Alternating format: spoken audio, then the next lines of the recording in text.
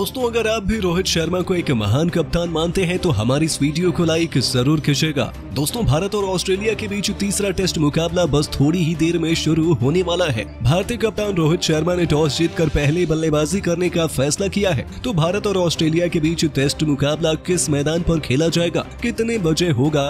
कब शुरू होगी? और क्या प्लेइंग इलेवन के साथ खेलेंगे रोहित शर्मा? और क्या कुछ है इस मुकाबले की एक एक लाइव अपडेट दिखाएँगे उसका पूरा वीडियो, लेकिन उससे पहले आपको क्या लगता है? रोहित शर्मा और विराट कोहली में से महान खिलाड़ी कौन है? अपने जवाब कमेंट में ज़रूर बताइए। दोस्तों, भारत और ऑस्ट्रेलिया के बीच मौजूदा समय में चार मैचों की रोचक बॉर्डर गवास्कर ट्रॉफी खेली जा रही है, जिसका आयोजन भारत में किया जा रहा है। टीम इंडिया ने सीरीज़ का आगाज़ नागपुर में जीत के साथ किया है। विदर्भ क्रिकेट एसोसिएशन में खेले गए पहले टेस्ट मैच में रोहित शर्मा के नेतृत्व वाली भारतीय टीम ने कंगारू को एक पारी और 132 रनों से मात दी है। वहीं सीरीज़ के दूसरे मुकाबले में तो उनकी हालत और भी ज़्यादा खराब रही। बता दें, ऑस्ट्रेलिया की पूरी टीम एक घंटे के भीतर ही ऑल आउट हो गई। पहले मुकाबले में ऑस्ट्रेलिया की दूसरी पारी दो घंटे में ऑल आउट हुई थी। तो वहीं दूसरे मुकाबले में उनके बल्लेबाज एक घंटे से ज़्यादा भी नहीं टिक पाए। रविंद्र जडेजा और रविचंद्रन अश्विन की जोड़ी ऑस्ट्रेलियाई बल्लेबाजों का काम तमाम कर दी। भारत की सीरीज़ में अब दो ज़ीरो ऐसी आगे है। और अगला मुकाबला जीतकर टीम इंडिया इस सीरीज़ आरोप कब्जा जमाना चाहेगी।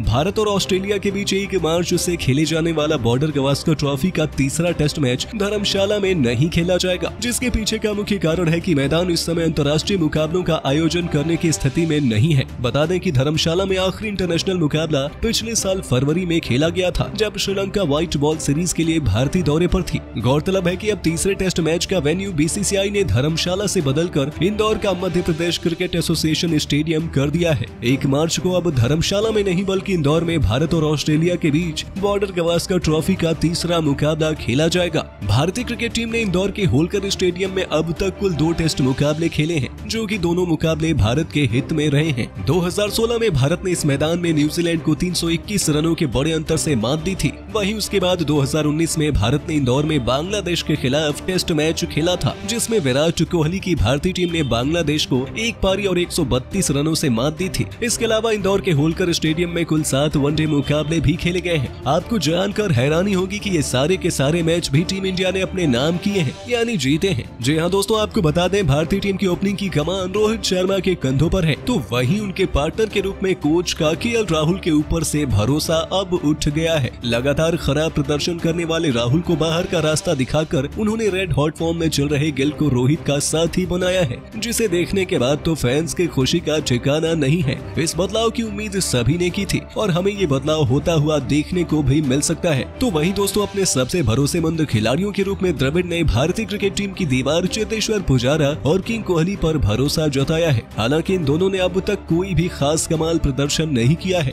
लेकिन ये चुटकियों में मुकाबले पलटने का दम रखते हैं। इनका साथ निभाने के लिए द्रविड़ ने चोट से वापसी करने वाले अय्यर को गेंदबाजों की धजिया उड़ाने के लिए शामिल किया है। पिछले ही मैच में वापसी करने वाले अय्यर बेहतरीन लय में लग रहे थे, और अब उनसे एक बड़ी पारी की उम्मीद भी सभी कर रहे हैं। दोस्तों विकेट कीपर की भूमिका में के भरत ने शानदार काम किया है। ऐसे में ईशान किशन को अपनी बारी के लिए अभी इंतज़ार करना पड़ सकता है। के एस भरत ही तीसरे टेस्ट मैच में टीम इंडिया के विकेट कीपिंग डिपार्टमेंट की कमान अपने कंधों पर संभालेंगे। वहीं ऑलराउंडर की भूमिका में एक बार फिर अश्विन और जडेजा ऑस्ट्रेलिया के लिए काल बनकर रोहित शर्मा के तुरुप के इक्के का काम करने वाले हैं। हालाँकि दोस्तों स्पिन जोड़ी में से कोच द्रविड़ ने एक खिलाड़ी को बाहर का रास्ता दिखाया है, जी हाँ इंदौर के मैदान पर अक्षर पटेल की जगह कुलदीप यादव को शामिल किया जा सकता है। हालाँकि इसकी संभावना बेहद कम है, क्योंकि अक्षर पटेल बल्ले से बहुत अधिक योगदान दे रहे हैं, लेकिन गेंदबाजी में वैरायटी लाने के लिए ये बदलाव किया जा सकता है। तो वहीं बात करें गेंदबाजी आक्रमण की कमान, एक बार फिर मोहम्मद शमी के साथ साथ मोहम्मद सिराज के कंधों पर रहने वाली है। इन दोनों ने अब तक कमाल का काम किया है